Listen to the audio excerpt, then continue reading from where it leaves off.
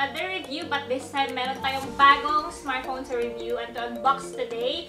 And note, another new brand na naman tayo. So ito tayo natin at bigyan natin ng chance itong mga brand na pausbong pa lang. Ayan. So actually, na nakita or na-found out ko lang siya dun sa Lazada. Nakita ko kasi mura lang siya. So na-trigger talaga ako. Gusto ko siyang itry talaga. And may free power bank pa siya. So ito na yata yung masasabi kong pinakamurang smartphone na may fingerprint scanner, may face unlock, may uh, dual rear cameras, and yung RAM and ROM niya is malaki na techies. So, abangan niyo yan kasi gagawa ko ng gaming test, training, and even heating, and of course, its camera performance. So, I hope you guys will watch till the end. And by the way, before we start, I would like to invite all of you to join my M10 giveaway. Ayan, so to know the mechanics, you just have to look for my 80k subs giveaway video. Nandun yung mechanics. You just have to follow it there. Kasi yung link na video na yun ang kukunin ko for the raffle.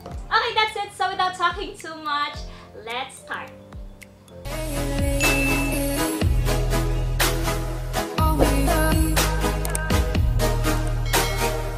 Ayun na guys, so bubuksan na natin ang bagong smartphone na to na may kasamang power bank. Ayan, so libre na po yung power bank. Mas aside sa mura na, yung price niya is may libreng power bank pa tayo, techies. So, ayan na, bubuksan na natin. Okay, so in fairness ha, maganda yung box ni Ligo. Ayan, so again, it's my first time to unbox this kind of smartphone. And ayan, makikita niyo yung box niya is very simple lang. Walang masyadong nakasulat. And then, walang image ng smartphone. Si Ligo M13 daw is meron siyang 6.1 water drop IPS. Then, meron siyang 4GB RAM. So, wow! From that price, ay meron na siyang 4GB RAM. So, good thing about this techies is meron din siyang 32GB internal storage. Well, anyway, ito yung smartphone. Ito naman yung free power bank na sinasabi nila. Ayan. So, as you can see, maganda siya. And, meron siyang brand so far. So, titingnan natin muna yung power bank. Ah, taray. Ah, okay. Ito yung itsura niya. Ay, taray. Maganda. Maganda yung power bank, techies. Anyway, so ito na nga yung unit. Ayan na, techies. So, bubuksan na natin siya for you guys to see how does this smartphone looks like. And para makilatis natin yung specifications niya. And even yung screen display, makikita natin yan.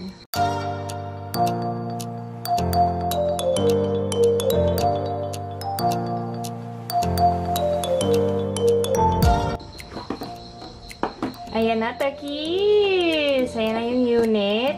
Tsaka may pa-cover-cover pa silang nalalaman. And anyway, check natin to later. Yan, diyan ka muna. Tingnan natin yung other accessories ni Takis. Ang cute! Pa ganito sila, oh. Look. Yan, nakita nyo? Smiley. Ang cute. Anyway, sige, buksan na natin. Ito yung mini box nila. And, ayan. Nandito yung Guys, makita nyo yung, wow, maganda yung cable. And ito naman yung wall adapter. Ito yung wall adapter niya, and ito yung cable. So, tingnan na natin. And ito yung warranty and quick guide. Eh, warranty and quick guide. Ayan. Anyway, so yun lang. Wala nang iba. And so, titinan natin ang unit tech keys. I'm so excited na to see this one. Ayan na! Wow! Ah, okay. Nakalagay na, nakalagay na dito yung ano, yung jelly case niya. So, may free jelly case siya, techish. May free jelly case na siya, taray. Nilagay na nila ang jelly case. Sige, tingnan natin. Ayan. Ito yung likod niya. Ay, fairness ha, maganda siya. And sa isang smartphone na, eh, sa isang brand na hindi pa natin kilala, in fairness, maganda siya, techies. Tignan nyo. May pa-ombre effect din siya. Parang dalawang kulay na nagsama. I mean, nag-combine. Ayan, tingnan niyo yung jelly case niya, techies. Maganda din. And, in fairness, hindi siya yung common free jelly case na lagi nating nakikita na transparent lang. Ito talagang hindi transparent. Maganda siya, techies, in fairness. May parang ganito pa sila, oh. Far, maganda yung free jelly case nila, ha? Mukhang. And fairness naman dito sa brand na to, ha? Full of surprises. Ayun, so, pasensya na sa ingay. Ingay talaga yung mga crickets kasi gabi na. Okay, so may nakasulat dito, techies, na tear off the battery film before use. Charge before power on. So, natatanggal yung battery. Anyway, tatanggalin natin to, techies, para ma-appreciate natin yan. Tingnan nyo yung unit techies. So, sobrang ganda. Wow! In fairness ha, hindi din sila nagpapatalo sa design. Ang ganda. Ang ganda ng back cover nila. And sa back nila, techies, ah, kung titingnan mo siya ng malapitan, techies, makikita mong may glitters-glitters siya. So, I hope you guys can appreciate it there. Hindi ko sure kung nakikita nyo ng maayos. Pero may triple camera, ay may dual camera siya. Ayan, may fingerprint scanner na din. Sa murang halaga lang. Now, titingnan naman natin yung front niya.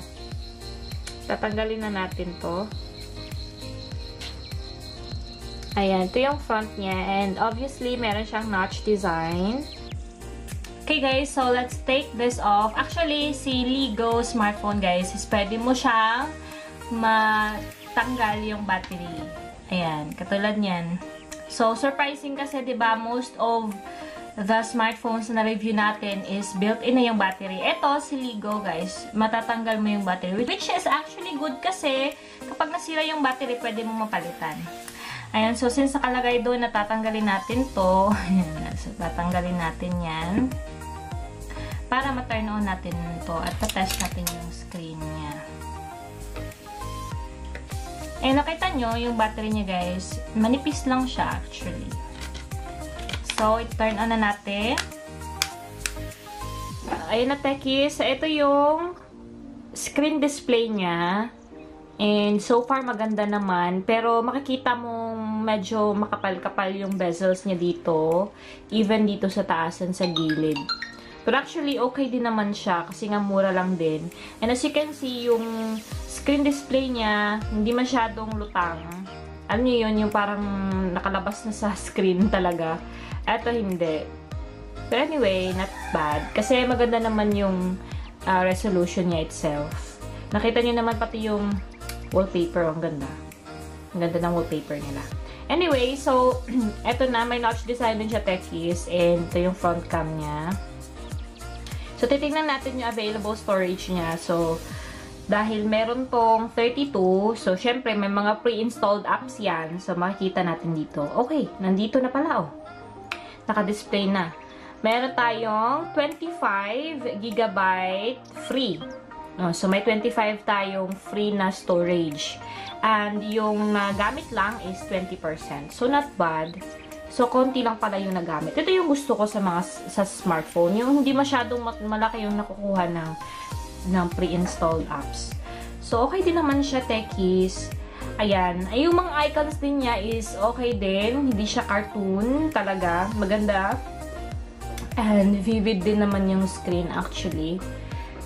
So, hindi na siya bad. Ayun na, Tekis! As you can see, meron siyang libreng jelly case. And itong jelly case na to is hindi katulad na the usual na jelly case na nakikita natin na free sa mga smartphones na nare-review natin. Ito is hindi siya transparent and rubberized. So, ayan na tekis, nandito na yung product. It's a view unit. And napakaganda niya. Hindi mo i-expect na sa 4,690 mo is magkakaroon ka na ng ganitong klaseng smartphone. Sobrang ganda. And, ayun, yung difference lang ito sa mga usual na smartphones na nare-review natin is this one tekis is matatang tatanggal mo yung cover niya, and even yung battery. So, removable siya. So, replaceable din siya.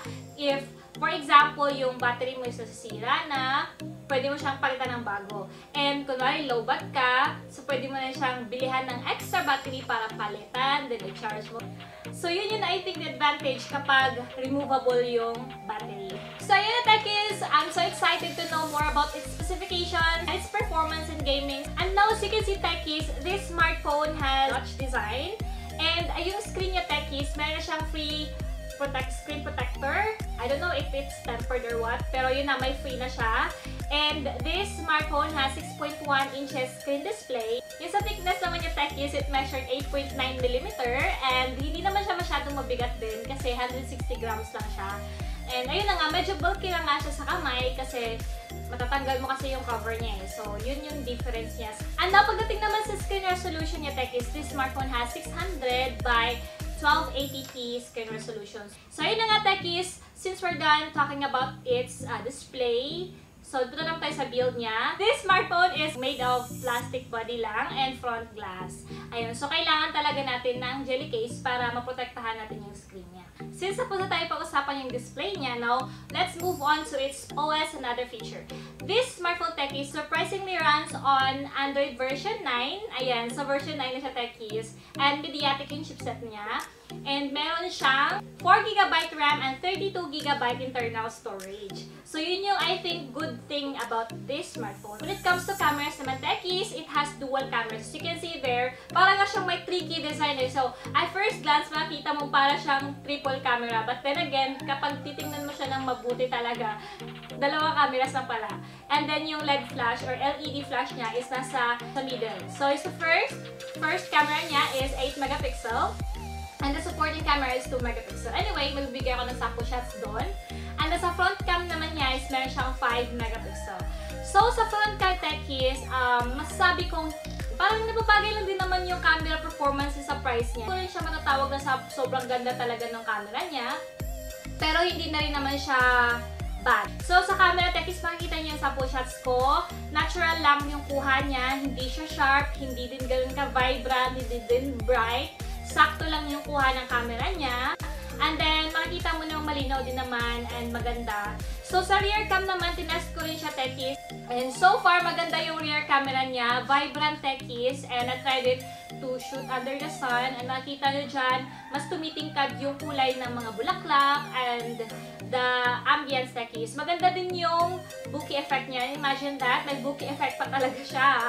And okay din naman yung Okay din yung blur niya actually, hindi naman ganoon ka-intense, sakto lang din. So, para masasabi ko sa isang 4,690, sulit na siya, di ba? And then, may free power bank pa. Nakita niyo naman dyan sa pag-unbox ko, itong free power bank niya and digital na.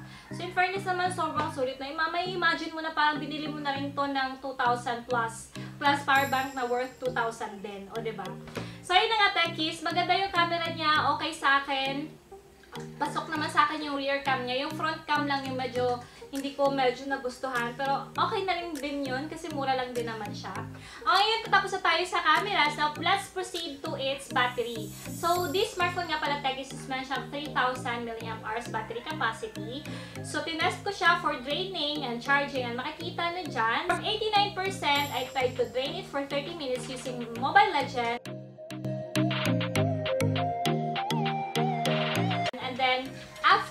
Naging 79% na siya. So, 10% lang yung nakuha niya 30 minutes using ML. Ang sa heating naman niya, nung hindi ko pa siya ginamit, is like 34 degrees. Then, nung ginamit ko na siya, is naging 39 degrees. So, hindi din siya ganun kabilis talaga uminit. Unlike dun sa mga smartphones, previous smartphones na na-review natin. Now, sa other naman performance niya, like sa gaming, ayun, sa so makikita niyo dyan, techies, na-surprise ako kasi Akala ko kapag mga murang smartphone at saka hindi kilalang brand, ah okay, siguro gimmick lang yung mga ano niya, mga, mga specs niya. Pero actually, techies, doon ko na-prove na maganda pala talaga yung specs niya doon sa gaming kasi kaya niya yung high graphic setting. Makikita niyo, techies, sa sobrang smooth and then napakaganda ng graphic quality niya. ba? Diba? Hindi mo ma-imagine sa murang halaga niya, may ganun siya kakayahan sa Mobile Legends. Ma-enjoy mo kasi medyo malaki naman yung screen niya. So yun na nga techies, we're done with the gaming test. Napunta naman tayo sa pagtetest ng kanyang fingerprint. So itatry natin siya. I-off natin to. Actually, nasa-set na yung fingerprint ko dito. So, lilinisin ko muna yung kamay ko kasi isa din yun sa factor kung bakit hindi masyadong gumagana yung fingerprint natin. So, kailangan malinis yung kamay. So, yun na nga, techies. Tingnan natin kung mabilis. Ayan. So, so far, mabilis naman. Nakita nyo. Off ulit natin Ayan. So, so far, sa isang, sa pangalawang ano ko lang, dikit lang ng finger ko is, ano na siya, nag-on na. So, okay. Responsive naman yung fingerprint niya. ano, ito naman natin yung face unlock niya. Kung maganda at saka, ano din ba, responsive. Ayan, so so far, mabilis yung face unlock niya. Fairness naman, di ba? Satisfying din naman. So, yun na nga, tapos na tayo i-test yung mga sensor niya. So, this is now my final verdict. So, to my final verdict naman, techies, makikita kong sa kanyang price is parang, should say, sulit naman din. Kasi imagine that sa 4,690 mo, meron ka ng fingerprint, may dual camera ka na, may free power bank ka pa, yes, and yung camera niya, okay na naman yung camera niya sa rear. Yung sa front lang yung medyo hindi ko gusto. Siguro nag-iba na yung standard sa sa dami-dami ng smartphone na na-review, ganun. Pero sa gaming tech is okay na okay siya sa Mobile Legend. Yung battery naman niya okay lang din naman kahit hindi siya masyadong malaki is may enjoy mo rin naman siya. And may power bank naman siyang libre. So kung malo-lobat siya, pwede mo i-charge ulit. Or pwede kang bumili ng extra battery nito para pag malobat na, palitan mo na lang, charge mo isa. Parang ganun. So maraming option kasi removable din yung battery niya. So para sa akin, techies, yung design okay na okay din. Pasok na pasok din siya. Parang mamahalin nga siya eh. Hindi mo akalain 4,000 plus lang to. And dual cameras na din. And kaya na niya yung 4G LTE connection techies. Responsive din yung fingerprint niya and then yung face unlock. So para sa akin, sulit din siya. Of course, considering its price, sulit na sulit na yung specification niya. So, ayun na techies, still, it's all up to you what can you say about this smartphone. Feel free to comment below. Okay, so isa-shoutout natin yan si Wilma Cabalar. Cabalar or Cabalyar? Si Jared Apello. Hi, Jared! Ayan, shoutout tayo. Sa, shoutout sa'yo. I hope na nanonood ka ngayon. Ayan, si Gian Dargantes. Hi! So, sabi pa niya dito, ano na, Ate Liz? Ate Lizelle, nasa na yung shoutout ko? Ayun na, na kita. I hope na nanonood ka ngayon. So, that's it, techies. Thank you so much for watching. I hope you guys will leave a thumbs up. Don't forget to follow my social media accounts. I am Liz Gatiza. Instagram and Facebook page Lee's Tech. And that's it. So I hope you guys will subscribe, comment below if you have, and share this video to your friends. That's it, techies, and see you again till my next video. Bye!